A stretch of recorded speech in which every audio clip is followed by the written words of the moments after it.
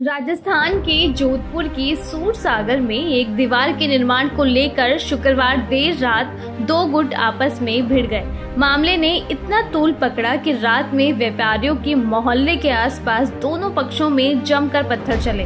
हालात काबू से बाहर होने पर अलग अलग थानों का जाप और आरएसी मौके पर भेजी गई। रात करीब पौने 12 बजे पुलिस कमिश्नर राजेंद्र सिंह भी मौके पर पहुँचे। इस घटनाक्रम में पुलिस कर्मी भी घायल हुए, जिसमें चौपासनी हाउसिंग बोर्ड थाना अधिकारी नितिन दवे भी शामिल है। एडीसीपी निशांत भारद्वाज के मुताबिक व्यापारियों का मोहल्ला सुभाष चौक और कुछ कॉलोनी में पुलिस पर भी पथराव किया गया है।